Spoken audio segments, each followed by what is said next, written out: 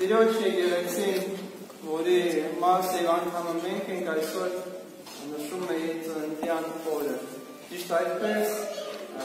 համարյա 2000 տարի առաջ արաքյալները հավաքվել էին Սուրբ Վերնատանը եւ սպասում էին ինչ որ մի նոր հայտնությանը, անձի Քրիստոս համբարձվել էր երկինք եւ ասում էր դուք պետք է սպասեք։ Եվ այդ սպասելու միակ պայմանը եղել է որպեսզի իրանք միասին միախորոտ, միաբան, միակրոն, ինչպես ասում է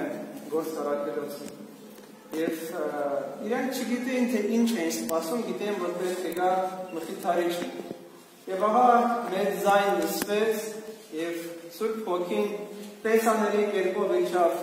որ մարդկանց վրա ովքեր այդ վերնադանը հավաքված են, առաքյալները, իրենց աշակերտները, Մարիամ Աստվածածուն եւ իրենք նոր սկիզբ դրեցին մարդկային կյանքի ընթացքին։ Այս սկիզբը կոչվում է Սուրբ Հոգով առաջնորդված կյանք։ Այդ սկիզբը ուշ տվեց եկեղեցուն փոխելու աշխարհը։ Եվ առանց Սուրբ Հոգու առաջնորդության մենք չենք կարող պատկերացնել եկեղեցու կյանքը ընդհանրապես ոչինչ չենք կարող պատկերացնել մեր եկեղեցին։ Եվ իսկապես Տիրոջ այս աշխարհից վերանալու կարոտը բավականին մեծ է։ Պատկերացրեք, որ արաքյալների կյանքը եղել է միայն Քրիստոսի շուրջ կառուցված։ Իրանք ունեն ինչ-որ շնորհներ, գիտություններ, տաղանդներ, որ կարողանային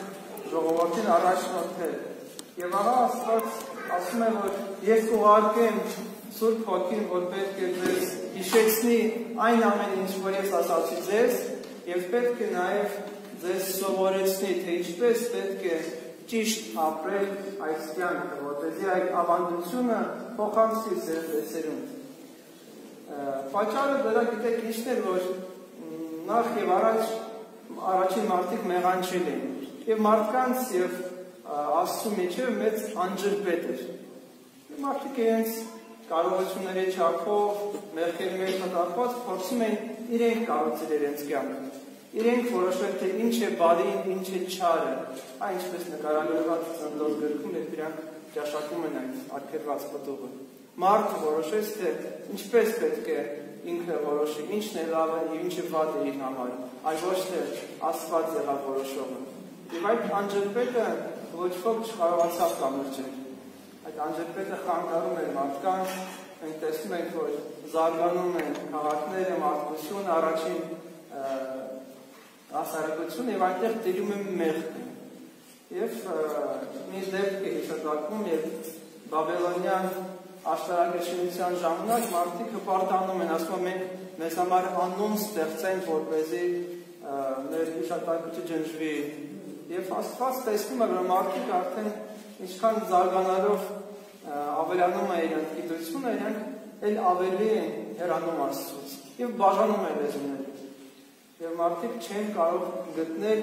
մեկ ընդհանուր լեզուն, մեկ գաղափար, որի շուրջ իրանք կարող են իրենց կյանքը կառուցել։ Եվ այդ ժամանակվանից մարդիկ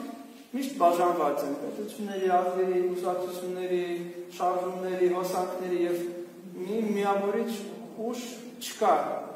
Ինչպես մարդը բաժանվեց Աստծուց եւ անջրպետ եղավ, կամուրջ չկա մարդու եւ Աստծու միջեւ Դրանից հետո մարդը մարդուց սկսեց բաժանվել։ Եվ մարդկության պատմությունը ինքը այդպես բաժանումների պատմություն է, թե ինչպես մեկը մյուսից անջատվելով ինչ-որ նոր բան է մտածում։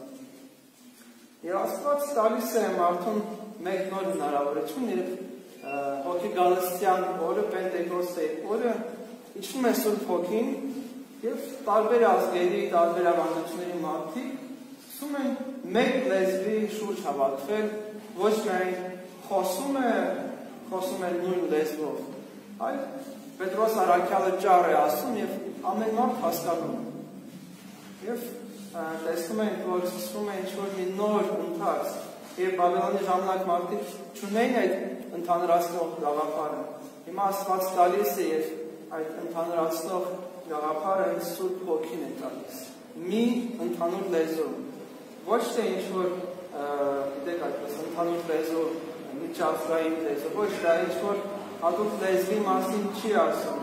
գործ կարակելոց, այ ասում է, որ մեկը խոսում է եւ բոլոր մարդիկ տարբեր լեզուներով հասկանում են, դա մի հրաշք է, որ ցույց է տալիս եկեղեցու ծննդյան կարևորությունը։ Եվ ինչ է այդ լեզուն։ Անշուշտ այդ լեզուն եկեղեցու լեզուն է։ Այդ լեզուն Քրիստոսն է։ Փոխաբերական իմաստով, որտեղ բացի Քրիստոսից ոչ ոք չկարողացավ միավորել մարդկանց։ Եվ Քրիստոս հերացել էր, ելի հերո էր առաքյալներից, եւ որպեսզի նորից մարդը մոտենա Աստծուն, պետք էր անշուշտ ինչ-որ մի շատ հզոր ուժ եւ Սուրբ Հոգին եղավ այդ ուժը։ Սուրբ Հոգին նորից միավորեց մարդկանց Աստծո հետ։ Քրիստոս շրջում էր մարդկանց մեջ, հիշում էր ինչքան մոտ էր մարդկանց, սակայն մարդիկ նույնպես հերո էին, մարդիկ խաչեցին Քրիստոսի մեծամասնությունը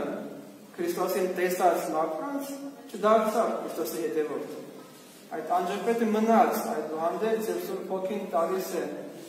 շնոր մարդկանց գերբական ուժ, որպեսզի իրանք լինեն միավորված։ Միավորված Քրիստոսով եւ եկեղեցու մեջ։ Հետ այսօր այդ ընթացքը մեզ սովորեցնում է կրկնել այն ամենը, ինչ որ տեղի է ունեցել այն ժամանակ։ Միավորվել Քրիստոսով, միավորվել Սուրբ Հոգով եւ լինել միություն մեկ եկեղեցի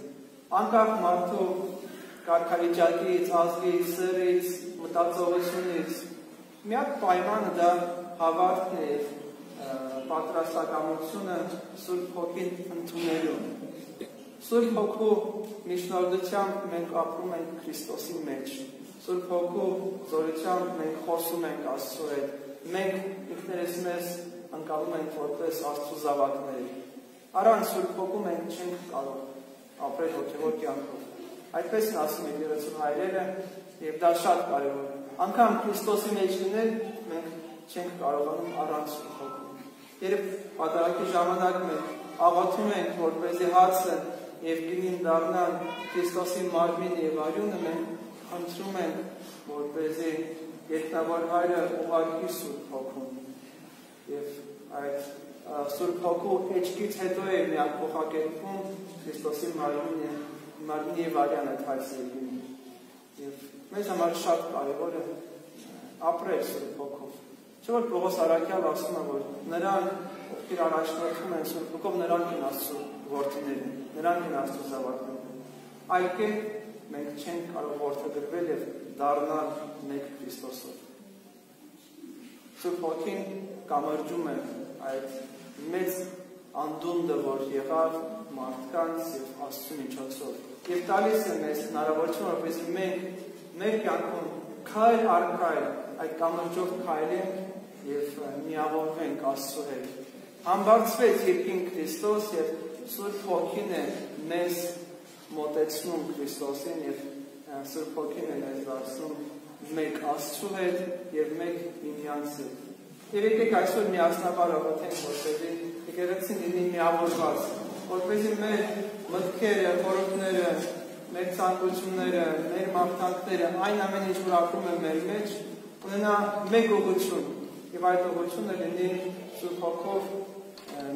միավորված Աստծո արքա